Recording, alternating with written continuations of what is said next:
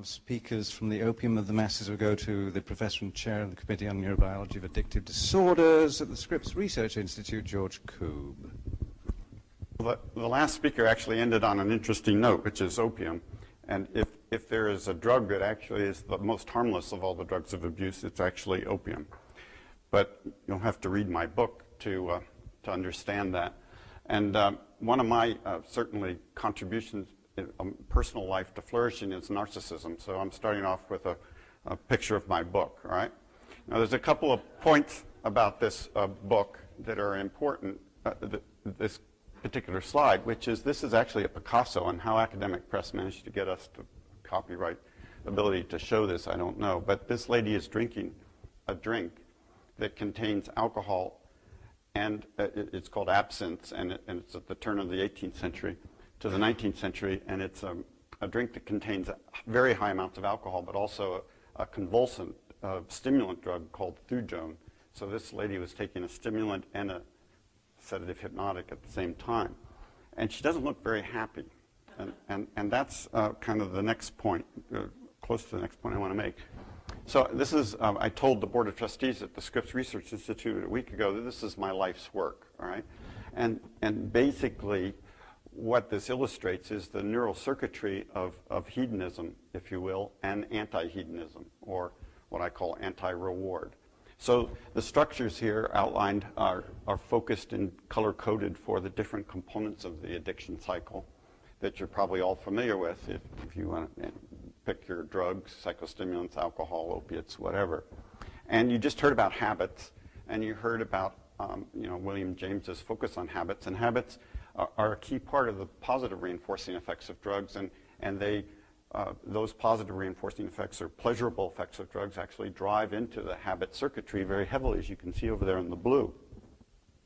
But one of the things that, that my work is focused on, and I'm particularly interested in, is the fact that once that positive reward system is engaged, there is a payback time.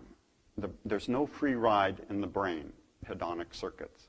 And so the negative affect component there is actually the negative emotional state that follows when you have overindulged in drugs of abuse.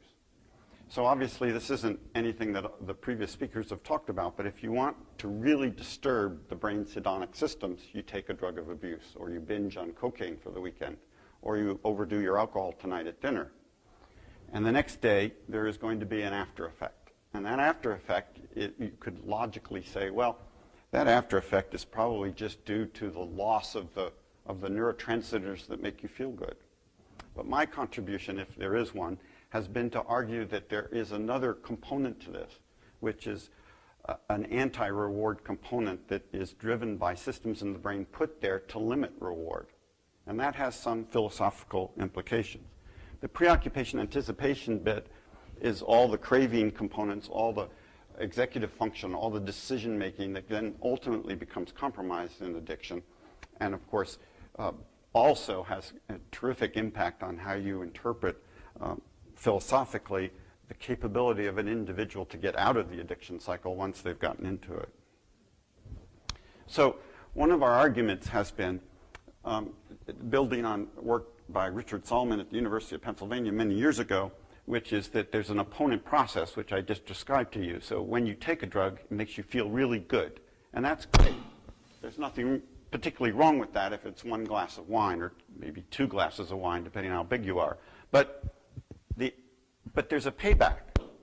And if you don't believe me, even after two glasses of wine tonight, you will wake up in the middle of the night, I can guarantee you, at 3 in the morning with a dry throat and have to go to the bathroom, and you're not going to feel so hot, right?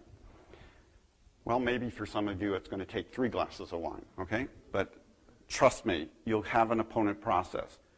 Well, that's not a big deal, but if you're doing, uh, you know, several grams a day of, of morphine, um, that opponent process the next day is so excruciating that it produces a syndrome very similar to what some of you saw if you saw the movie um, Trainspotting, where the person is in basically in motivational agony.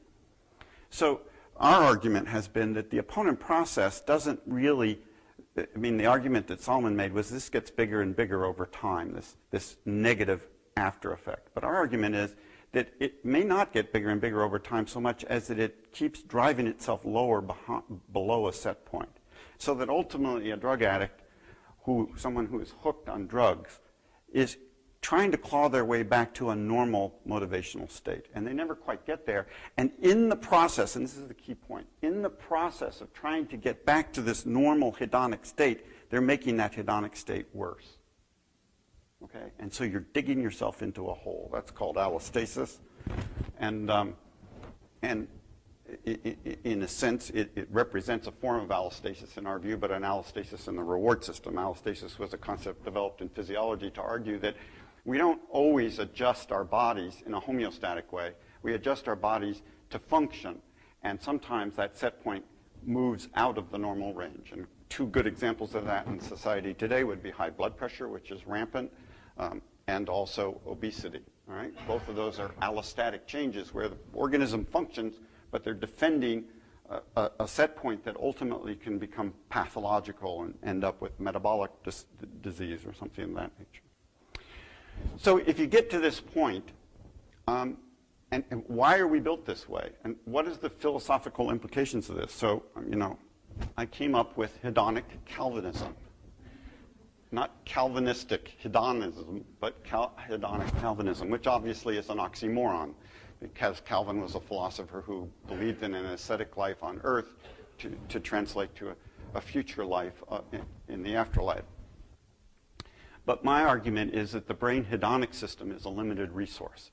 And as you heard from the other speakers, how you use that resource determines whether you flourish or don't flourish. Um, such a resource could be expended rapidly in a binge of drug taking, and, and such a depletion of resources could set up a vulnerability for entrance into the spiraling dysregulation of the addiction cycle. And so, in my view, a hedonic Calvinistic approach would be to restrict the use of the reward system within a homeostatic boundary. And I think you heard some of that from some of the other speakers of how socially, philosophically, intellectually one can do that. Um, my view would be that, that if you push the system to the point that there is an after effect, then you are in the zone where the brain is going to have to adjust to that. And the way I explain it to myself is if you're on the savannah in Africa and you're a hyena and you come across roadkill from some, you know, lion that pack that lioness pack that just left some leftovers and you sit there and eat to the point that you cannot move, you're going to be the next meal for the next lion pack that comes down the road. And you know, have you ever wondered why we don't copulate all the time? Why don't we copulate all the time? Um, what limits that pleasure? So I think even with natural rewards and natural reward systems, there are systems built in our brains to limit the pleasurable uh, sensations that reverberate through these circuits. And uh, the one that we've been studying is a corticotropin releasing factor. It's a peptide that controls uh, uh, bodily responses to stressors. But there are many other neurotransmitters involved in a part of the brain in your temporal lobe called the amygdala that was part of one of my slides there that probably have uh, equally important or possibly equally important functions in re-regulating our hedonic state. So that's what I study. Um, I started working on stress in my graduate work, and I finished working on stress. I'm finishing working on stress in my career, but it all come round to trying to understand how our brain actually processes good feeling, good, good stimuli, and pleasurable stimuli um, in, in everyday life. And then finally, I just want to mention that can you get this way through process addictions? Is, is this limited only to uh, addictions that involve drugs? And a process addiction is defined by the American Society of Addiction Medicine as an addiction, non-drug addiction. So gambling would be an example of that. And yes, I think the brain can engage these same circuits through excesses in uh, engaging stimuli that form pleasure uh, and activate these systems in a, in a non-drug way. Thank you.